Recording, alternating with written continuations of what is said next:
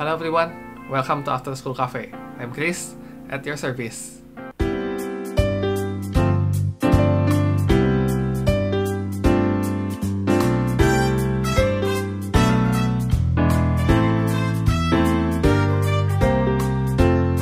Halo teman-teman, di beberapa video kemarin kita kan udah membahas ya kenapa jerawat itu bisa terjadi dan apa yang bisa kita lakukan untuk mengobatinya. Nah, tapi dasar si jerawat ini tuh memang bandel ya. Nah, jadi biarpun kulit kita udah sembuh, udah nggak ada jerawat lagi, tapi si jerawat ini tuh masih sering bikin repot dengan meninggalkan bekas-bekas jerawat. Sekarang kita akan bahas dulu sebenarnya dimaksud bekas jerawat tuh seperti apa sih? Pertama-tama kita bahas dari definisinya dulu ya. Jadi mungkin bekas jerawat itu istilah besarnya, jadi apa yang ditinggalkan oleh jerawat pada kulit kita tuh kita sebut bekas jerawat. Tapi secara khusus itu bisa kita bagi menjadi dua yang besar. Yaitu yang pertama adalah hiperpigmentasi dan yang kedua adalah acne scar atau bekas luka. Kita bahas satu-satu dulu ya. Yang pertama dari hiperpigmentasi. Teman-teman pasti sering lihat kalau misalnya kita habis jerawatan nih. Nah, jerawatnya udah nggak ada, tapi masih ada kayak bercak-bercak kecoklatan yang warnanya lebih gelap dari kulit kita atau agak merah-merah sedikit. Nah, ini yang sering kita sebut dengan PIH atau post inflammatory hyperpigmentation atau hiperpigmentasi post inflamasi ya. Jadi maksudnya itu ada bagian dari kulit kita yang setelah meradang warnanya berubah jadi lebih gelap. Seperti yang udah pernah kita bahas, jerawat itu kan merupakan reaksi radang ya.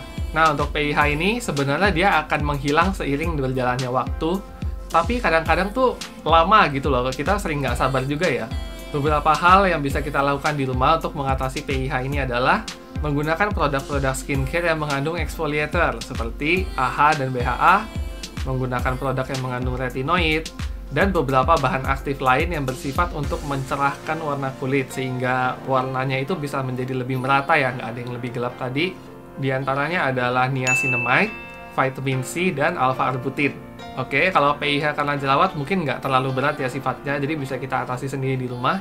Nah, itu tadi kan akibat jerawat yang pertama nih, PIH. Nah, yang kedua ini, acne scar atau bekas luka jerawat ini yang sering kali butuh tindakan yang lebih agresif ya. Jadi pertama-tama, ayo kita kenal lebih dulu tentang acne scar ini. Jadi secara umum acne scar itu terbagi menjadi dua. Yang pertama adalah scar hipertrofik dan yang kedua adalah scar atrofik. Nah, scar hipertrofik ini maksudnya adalah jenis luka di mana permukaannya itu lebih tinggi dibanding kulit kita yang lain. Jadi dia kayak nimbul gitu ya. Scar hipertrofik ini bisa terjadi karena pada saat penyembuhan luka kan tubuh kita mengeluarkan kolagen ya. Tapi kolagen yang dikeluarkan itu terlalu banyak sehingga jadinya dia waktu sembuh tuh nimbul gitu. Scar hipertrofik ini lebih banyak terjadi pada bagian dada atau punggung ya Kebalikannya, skala atrofik itu maksudnya adalah jenis luka yang dia jeglok ke dalam. Jadi permukaannya itu di bawah kulit kita yang lain. Dan kembali lagi ini bisa terjadi karena pada saat penyembuhan luka itu kolagen yang dikeluarkan terlalu sedikit. Beberapa hal yang bisa kita lakukan untuk mengatasi acne scar ini. Kembali lagi dengan melakukan eksfoliasi secara rutin dengan menggunakan AHA, BHA, atau menggunakan lactic acid bisa juga dengan menggunakan retinoid seperti yang sudah kita bahas di episode minggu lalu. Nah, tapi terkadang hanya dengan skincare aja nggak cukup untuk menyembuhkan acne scar ini. Kenapa? Pertama, kalau untuk tipe scar yang hipertrofik ya, yang nimbul tadi, itu dengan eksfoliasi aja tuh nggak cukup. Kita perlu melakukan tindakan yang lebih invasif di dokter atau klinik. Jadi sebaiknya teman-teman coba konsultasikan dulu ke dokter ya kalau untuk yang scar hipertrofik. Lalu untuk yang skala atrofik itu kadang-kadang kalau misalnya sudah berlangsung lama itu di bawah kulit kita, di bawah jaringan luka tadi itu tuh bisa timbul kayak semacam jaringan ikat ya, jaringan fibrosa yang seakan-akan menarik dan menahan kulit kita di bawah. Jadinya mau kita eksfoliasi sebanyak apa pun, ya selama jaringan ikatnya masih menahan kulit kita, kulit kita nggak bisa naik gitu. Nah untuk mengatasi ini kita perlu ke klinik untuk mendapatkan terapi yang namanya subsisi.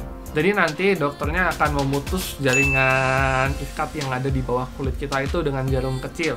Memang sifatnya sedikit lebih invasif ya, tapi kalau misalnya nggak dilakukan ini ya mau sampai kapan pun eksfoliasi kita nggak bisa efektif gitu. Jadi untuk skala hipertrofik dan skala atrofik yang tidak sembuh-sembuh dengan eksfoliasi, mungkin kita perlu berobat lagi ke klinik untuk mendapatkan tindakan yang lebih lanjut. Misalnya ya tadi dengan subsisi atau mau microneedling dengan PRP yang udah pernah kita bahas juga. Jadi basically video ini sih kita merangkum semua yang udah pernah kita bahas kemarin-kemarin ya. Dan hal lain yang tidak kalah pentingnya yaitu untuk selalu pakai sunblock. Karena paparan sinar matahari itu bisa membuat luka ini menjadi semakin kentara di wajah kita. Karena warnanya kan jadi nggak merata.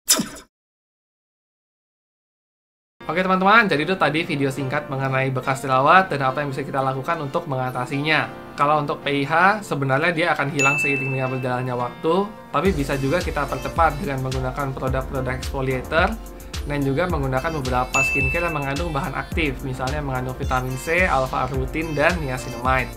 Lalu kalau untuk acne scar itu ada dua, ada yang hipertrofik sama ada yang atrofik. Kalau yang hipertrofik ini sering kali perlu tindakan yang lebih berat karena areanya pasti juga lebih luas. Lalu kalau acne scar yang atrofik itu kalau misalnya bisa dengan eksfoliasi ya bagus, tapi kalau tidak cukup berarti perlu tindakan yang lebih agresif, misalnya dengan melakukan subsisi, microneedling, TRP atau laser. Ada banyak banget deh pilihannya yang mungkin akan kita bahas satu-satu di video-video ke depan. Oke teman-teman, jadi itu tadi mengenai acne scar.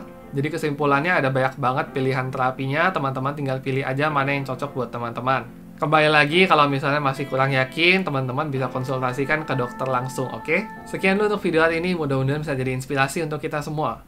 Kalau teman-teman suka, boleh tolong like, subscribe, dan nyalakan loncengnya supaya teman-teman ternotifikasi kalau ada video baru. As always, stay bright and coffeetive.